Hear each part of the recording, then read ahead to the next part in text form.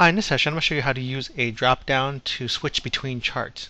So what this does is provide a level of interaction on your charts. So let's say for example I have a chart that shows the profit, this column in this table here. Maybe I want to provide some interaction to let you choose between expenses and sales for the for these uh, items here. So I can go under this drop down, look at sales, and I've got a chart, a bar chart that shows a column chart that shows sales, and then I can look at expenses and I have an expense chart that shows expenses. Now to create this chart, there is basically a couple things you need. Of course, you need your table, and then you need to chart uh, separate charts. So in this sheet 2, I've got these three separate charts that show sales, expenses, and profits. And what we also need is a form control, a, a, combo box, and this is what it is. This is a combo box right here. It's a, a drop down box. And also we're going to use the camera tool, which is this thing right here. And what a camera tool is, it just takes a snapshot of uh, a range of a cell or a range of cells. So let's go and show you how this is done. And in addition to the camera tool, there's also another way to, to utilize the feature of the camera tool. And I'll show the second way to do that at the end of the video. But we're going to use the camera tool for the, as the first example in uh, in this session.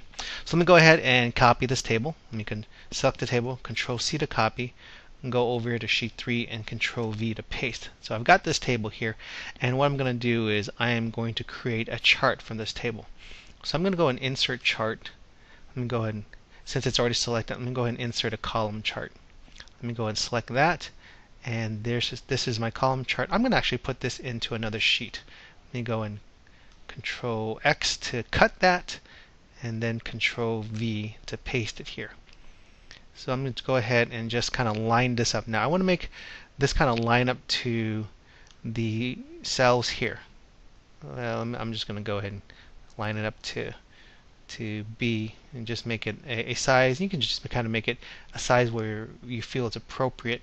So I'm going to go ahead and in order to click it into the grid, so I would have to kind of move it carefully as I left mouse click it and make sure that it lines up with this grid here or I can press the alt key and it's going to snap it into grid. It's going to snap it into the edges here. So you can see that that's selected there. If I select the table again, I press the alt key, I can just snap it in the grid. You see how it snaps it into each cell? Let me go ahead and just bring it there. And I think I'm going to make this one a little bit smaller here. Once I have this initial one settled, I'm going to go ahead and copy or actually duplicate it. So I'm going to make two more duplicates of this. I'm going to select it and just press Control D twice and it's going to duplicate this chart. Alright, so I'm going to put this one over here. Use the Alt key again to kind of snap it in the grid here and the same for this one. Use the Alt key and snap it into the grid there for that one. I'm gonna I want to make this all kind of fit into this view. I'm just gonna reduce the size there a little bit. Alright, and so each chart has to be separate. So this chart can be sales, this one can be expenses, and this one can be profit. Oh, and I'm just going to remove the grid lines here too. And select that and just press delete. I forgot to do that earlier. It makes it look cleaner without the grid lines. Select that and press delete. So I'm going to take sales away. I mean, I'm going to keep sales here and take expenses and profit. Take away the red and green. So I'm going to click on the red or green first and just press delete. And then I'm click on the red and press delete. So here I want the red and don't want the sales and profit. So I'm going to take sales and press delete. Take the sales bar, press delete, and take the profit bar and press delete. You notice, and you notice how when that's done, that's the only series of data left, and it automatically puts in a title, which is kind of nice. So I don't need this legend anymore. To delete that, and I'm going to delete these expenses.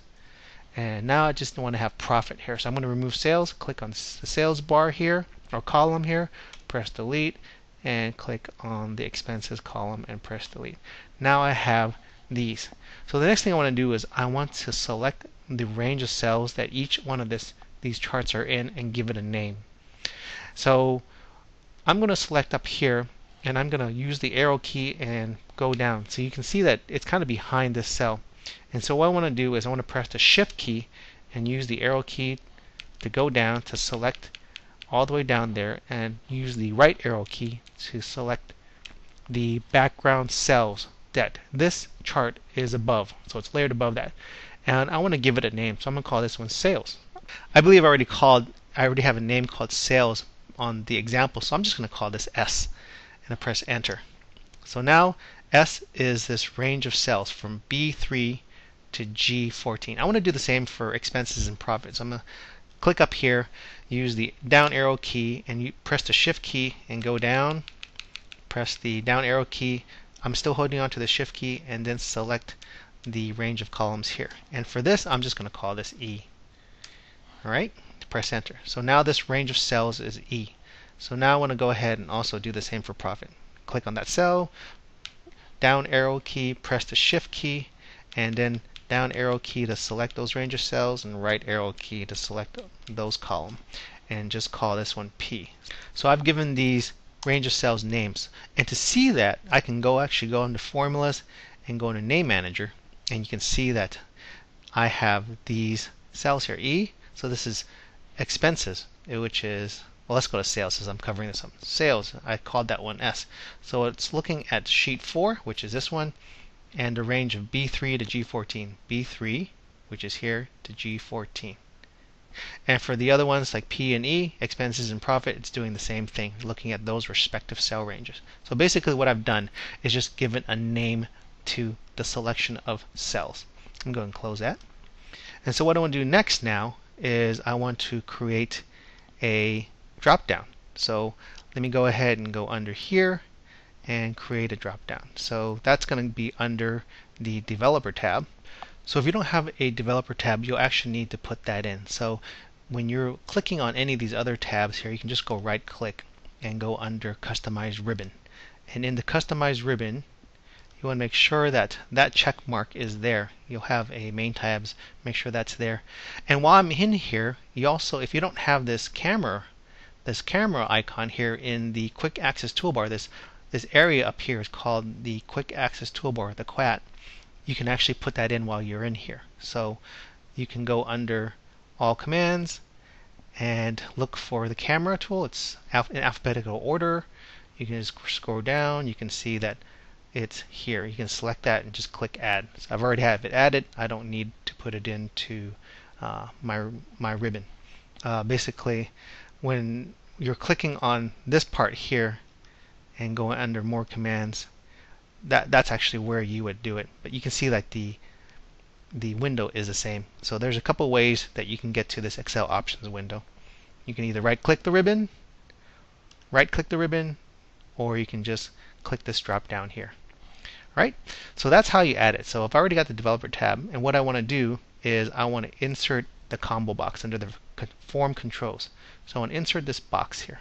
So I'm going to draw that box. I'm going to just draw it here. Now I've gotten this box drawn. I want to go ahead and format it. So I'm going to right click and go into format control.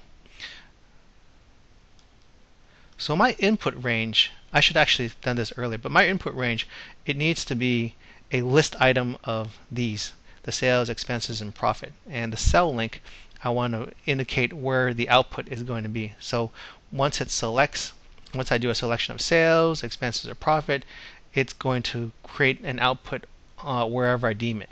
So what I'm going to do is I'm just going to cancel out of this first. And I'm going to go ahead and select sales, expenses, profit. Or actually I can call it something else now.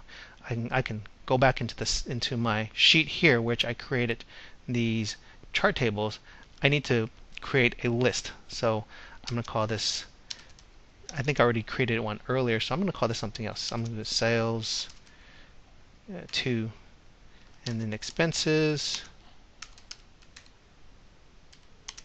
2, and then profit 2.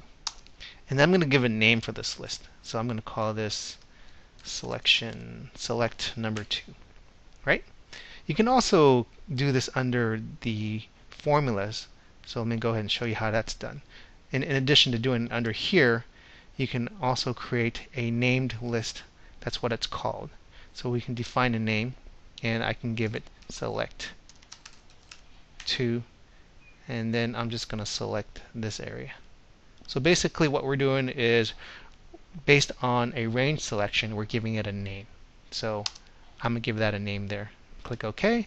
Now that's basically the same thing as inputting it up here. So if I go under here and go to select 2, you'll see that it's selected this range of cells. So once I have a list created, let me go back into my control bar area. I want to go ahead and right click it, go to format control, and input range, I'm going to type in the name select 2. So that gives it the capability of looking at that list and you can do that drop down and it'll give you the options of selecting sales, expenses, or profit from that sheet. So where do I want to link the output? I'm, I'm going to link the output over here in cell F3. I'm going to go and click OK and you can see nothing's happened but if you go ahead and click outside a bit the control the form control is not selected if I select the drop down you'll see that I have my options here so if I select sales 2 I'm, the output here is going to be number 1 if I select expenses 2 it's going to be number 2 if I select profit 2 it's going to be number 3 let me go and show you so that shows 1 that shows 2 and that shows 3 so it just goes in order. The first selection, the second selection, first selection, second selection, and third selection. So what I want to do with this one is I want to keep that there, but now what I want to do is now I want to use the camera tool. So I'm going to use the camera tool just to, to pick up an image. And what I'm going to do is just click on the camera tool. So what it's done is it took a snapshot of G6. If I press enter, you'll see now that that snapshot is there. So if I put a number here, you'll see that number shows up. So I don't want it to do that. What I want it to do is I want it I want this to reference those images. So for example, if I go up here and I just remove the reference to G6 and I just put in maybe one of the name ranges of those pictures here in sheet 4 and if one of them is sales I can just press S. And so you can see that it Excel is kind of smart kind of gives me options to choose from. So S was the sales, and I'm sure if I delete it and press C, it would give me, whoops, not press C, press E, it would give me the expenses chart, the name, the range.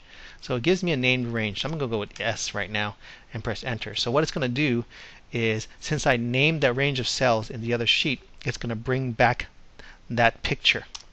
And so you can see this picture of the sales. I'm going to delete this as I don't need this anymore. But what about the other things? I mean, what about the other cells, the other name ranges?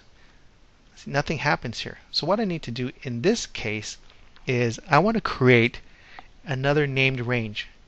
And I want to have it where when I select one of these, the number changes here. And that number change will reflect in the change of the chart here. So what I need to do here is create another named range. So I'm going to go up under let's see, uh, formulas and define name. So what I want to do is I want to give it a new name. I want to make I'll call this select selection oops selection 2 and here I'm going to use a formula. The formula or, or function is actually using the choose function. And so what it does is I type choose open parentheses and the number is going to be this cell here F2 I mean F3 uh, comma. And then based on what it chooses there, I'm going to either go for sales. Whoops, I think I called that S. Or the other one is expenses, or the, the other one is profit. Right? So let me kind of explain this form a little bit. So it's going to look at this cell here, F3, based on what you choose here. If you choose sales, it's going to be number one. You choose expenses, it's going to be number two. Profit is going to be number three. And this number determines where I'm going to choose uh, this. I'm going to, am I going to choose S, the first one, E, the second one, or P, the first one, P, the third one. So if it's 2, I'm going to choose E, the second one. So I'm going to go ahead and click OK. So after I created that name, what I need to do now is select on this chart, and instead of having it called S, have it call selection. Have it look at the selection name that I had created earlier. So what's going to happen right now is based on this number, it's going to put that chart. So now I have sales one, that's the first one, so it's going to go ahead and pull that first in that list of that choose. If I choose the second one, it's going to put, put E, that second one there, the second chart. And if I select profit 2, it's going to pull the third one. So the rest of it, it's probably can clean it up. If I wanted to clean up, I remove that legend there. Let me go ahead and just, I forgot to remove the legend here. Press that, press delete, and go back into sheet 3, you can see that it's changed it dynamically. And also, you, you need this cell here, but what and you don't want to have it uh, show visible. What you can do is basically just have this, this form control cover it. So let me go ahead and just select it. Let me right click that, yes. And just click on here and just move it over. And press the Alt key to kind of move it over. And that has moved over that and hidden it. I'm going to move this chart over here to kind of make it kind of more neat. And maybe I'll move this one a little bit over here. So it kind of looks like it fits there. Right click.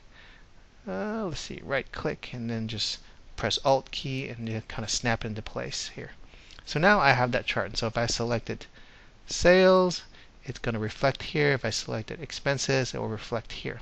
So as I mentioned earlier, there's another way to to utilize the camera tool feature. And basically what it is is you're basically copying a picture link. So if I took if I selected a cell here and go under home, go under copy, and then I all I have to do is just go into paste and I want to select picture link and I select that and basically I'm going to bring that over here and I can call this one selection 2 double click press enter and now I've got a copy of that one and so that's the other way to to use the camera tool kind of concept you can either put it in your QAT your QAT or basically, let me go and show you this. This just work too. Yeah, and so it works here too. So there's two ways to use the feature of the camera tool. You can either use the camera tool itself or do a copy and then paste picture link. And that is the other way to like paste links of a picture, which updates dynamically. So I hope this helps. Thanks for watching.